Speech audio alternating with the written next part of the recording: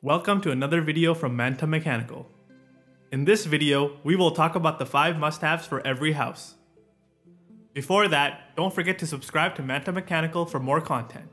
So let's get started. The first thing we will look at is in the mechanical room. Check if the hot water tank is strapped to the wall. If it's not, then immediately take action and strap it to the wall. The advantage of the strap is that it secures the tank from falling. For example, in the case of an earthquake, this can save you from a lot of damage to the property. The second thing we will look at is the hose bib. All of the outside hose bibs need to have vacuum breakers installed on them.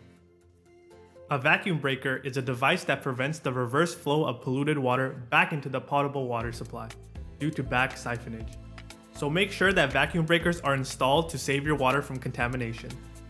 If you would like to know how to install a vacuum breaker, check out our video tutorial on the installation of a vacuum breaker. Link will be in the description below. The third thing we will look at in this video is inside the kitchen sink cabinet. Make sure the dishwasher supply line has a water hammer arrestor installed on it. Dishwashers have quick acting valves, and when they close quickly, they send a shock wave through the water, causing the pipes to vibrate and shudder. The same rule applies to washing machines, so make sure both the dishwasher and the washing machine have water hammer arrestors installed on them. The fourth thing we will look at in this video is outside the house, so let's head over there.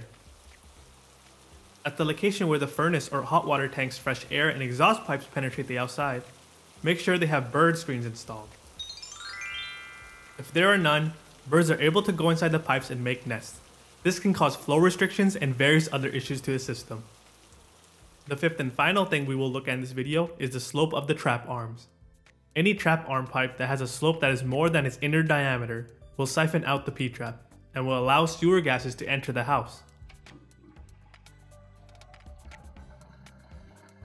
Also, do not use a Y fitting because that will create the same negative effect.